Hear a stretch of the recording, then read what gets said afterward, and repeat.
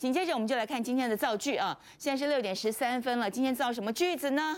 当然造陈柏维的句子啊，今天他也是金句齐发嘛，三个反省出来了啊，他告诉大家，十年前的我已经消失了啊。我觉得还蛮奇怪的。我他十年前是做了不少错事了，但是大家之所以要罢免他，其实好像也不是跟他十年前有关哦，而是跟他在立法院的表现有关呐啊。所以十年前的他已经消失，意思就是说他也不太喜欢他十年前的自己。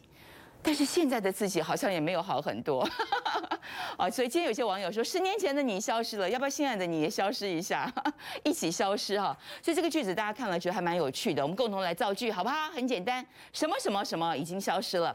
每天下午三点钟呢，我们会把这个造句模板抛在我们的官方《辣晚报》的这个脸书上啊，大家共同来想例句。这个网友呢都很有才，造的例子呢常常逗乐我，真的是很有。有趣有梗啊，哈，很好玩。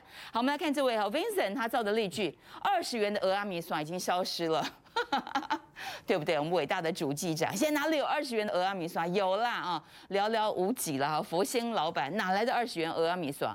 好，还有 Barry Ma，早教永存的承诺已经消失了哈，这个还真的是让大家笑不出来了。谢安，你说民进党的与人民站在一起已经消失了啊？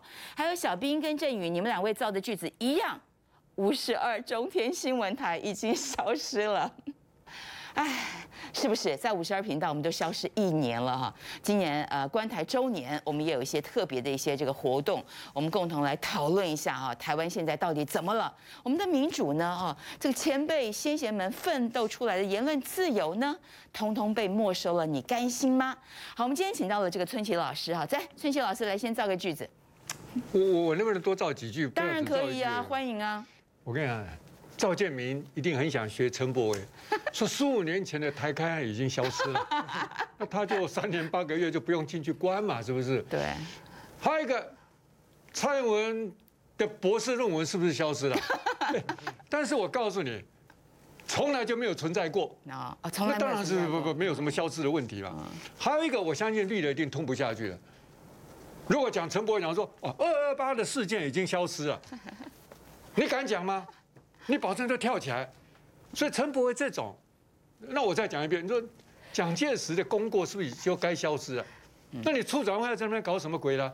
还在那边有的没有的弄东弄西。陈伯这个姿态就是想说，哎呀，过去的我种种已经过去了啊，让他洗心革面，重新来过，不是不可以。有些东西真的是不应该过度的啊，老是纠缠在过去。重点是。当你陈伯在讲这句话说“十年前的我已经消失”的那一刹那，当场就在说谎。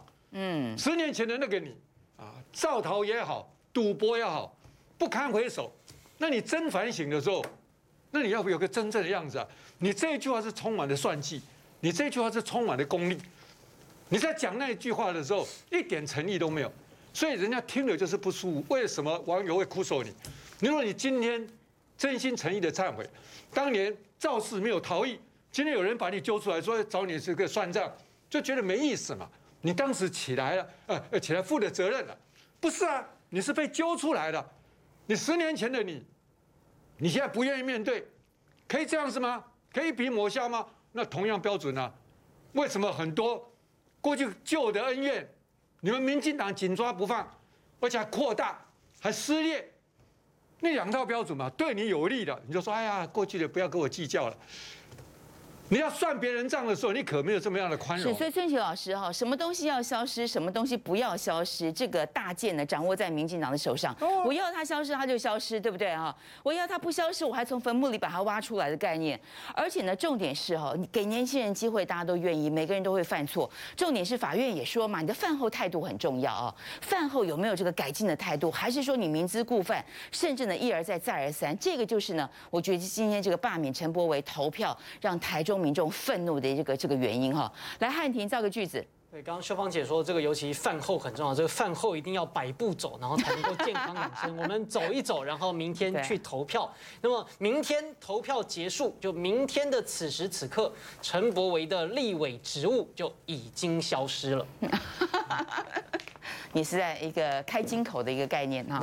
好好啊，他的立委职位会不会消失呢？锁定中心新闻，明天下午开始呢，我们会有这个一连串的特报，在晚上呢，我们也会有特别报道。这是台湾呃非常重要的一刻哈，也是这个台湾民众行使这个权利很重要的时刻，请大家共同来关注。但今天呃，所以大家也踊跃造句。我们稍后七点半呢，辫子妹会带着她的皇冠线上虚拟颁奖给今天的金句王，希望大家都能够确评中选。